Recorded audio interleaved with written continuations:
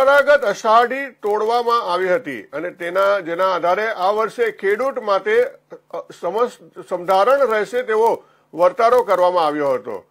ચંદ્રમુડેશ્વર મહાદેવના મંદિરમાં ગઈકાલે મંદિરના ટ્રસ્ટીઓ અને વેપારીઓની હાજરીમાં જુદા જુદા ધાન જોખી તેની પોટલીઓ બનાવી ગળામાં મૂકીને મંદિરના ગર્ભ, ગર્ભગૃહમાં આવેલ ગોખમાં મૂકી તાળું મારી દેવાયું હતું. અને તેના ચોવીસ કલાક બાદ આજે સવારે મંદિરના ટ્રસ્ટીઓ અને વેપારીઓની હાજરીમાં મંદિરના પૂજારી દ્વારા તાળું ખોલી ગળો બહાર કાઢવામાં આવ્યો હતો અને ધાનનું ફરીવાર વજન કરવામાં આવ્યું હતું. અને ધાનના વજનમાં ફેરફારના આધારે આ વર્ષે ખેતી માટે કેવું રહેશે તેનો વર્તારો કરવામાં આવ્યો હતો.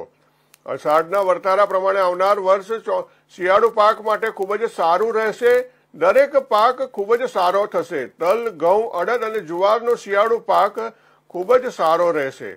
વરસાદ પાછોતરો રહેશે. સમગ્ર દેશમાં કાશી બાદ માત્ર ઉમરેઠમાં અષાઢી તોડવાની પરંપરા છે અને તેના આધારે ગુજરાતના અનેક ખેડૂતો ખેતી કરતા હોય છે. ખેડૂતોને આ વર્તારો ટપાલ દ્વારા મોકલવામાં આવે છે.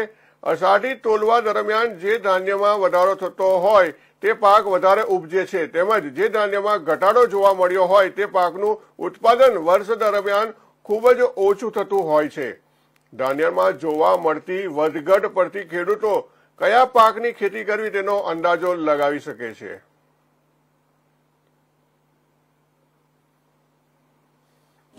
જય મહાદેવ. ઉમરેઠ શ્રી ચંદ્રમૌલેશ્વર મહાદેવના નિજ મંદિરમાં વર્ષો જૂની પરંપરાગત અષાઢી આજે તોલવામાં આવી.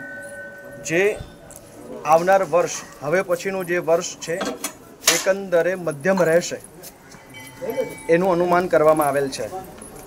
ખાસ આ ઐતિહાસિક અષાઢી મંદિર, નિજ મંદિર જે છે, એના સાત્વિક પ્રણાનું એક સાદ્રશ ઉદાહરણ છે. મહાદેવજીનું આ મંદિર દોઢ હજાર વર્ષ જૂની પરંપરામાં સ્થાપિત છે. સ્વયંભૂલિંગ છે મહાદેવજી. અને પરંપરાગત ત્રણસો વર્ષ જૂની આ અષાઢી આજે તોલવામાં આવેલી છે. જે ઐતિહાસિક અષાઢીમાં આ વર્ષે, એટલે કે વિક્રમ સંવત બે હજાર એંશીની આ અષાઢીમાં ઘઉં ત્રણ વધારે છે, તલ અડતાલીસ વધારે છે, અડદ બે વધારે છે મગ પાસઠ ઓછા છે, કપાસ સમધારણ છે, બાજરી દોઢ ઓછી છે, માટી એક રતી વધારે છે, ડાંગર બે ઓછી છે, જુવાર ચાર વધારે છે અને અડદ અડધો વધારે છે. માટી એક રતી વધારે હોવાથી કુદરતી હોનારત આ વર્ષે ઓછી હશે એવું અનુમાન કરાય છે. ડાંગરનું ઓછું પ્રમાણ હોવાથી વરસાદ પાછોતરો રહેશે, જેથી કરીને આ અનુમાન અમે કરી શકીએ છીએ. ઉમરેઠ ચંદ્ર મુલેશ્વર મહાદેવમાં છેલ્લા ત્રણસો વર્ષથી આ અષાઢી તોલવામાં આવે છે. અષાઢ સુદ પૂનમના દિવસે એક જૂના સિક્કા પ્રમાણે દસ ધાન તોલીને મહાદેવના ગોખમાં મૂકવામાં આવે છે અને બીજે દિવસે અષાઢ વડ એકમના દિવસે સવારે આનું ફરીથી વજન કરવામાં આવે છે. અને એ વજનના આધારે આવતું વર્ષ કેવી રીતે જશે અને ખેડૂતોને શું ફાયદો થશે એનો વર્તારો કાઢવામાં આવે છે. આ વર્ષની અષાઢીમાં માટી એક વધારે છે એટલે એવું અનુમાન થઈ શકે કે જન્મદર વધશે અને કુદરતી હુનારત ઓછી થશે.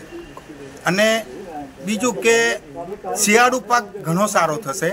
અત્યારે જે પણ પાક છે એને નુકસાનીનો વર્તારો અત્યારે ગણવામાં આવે છે. એટલે વર્ષ મધ્યમ રહેશે એવું આ અષાઢીનો વર્તારો છે.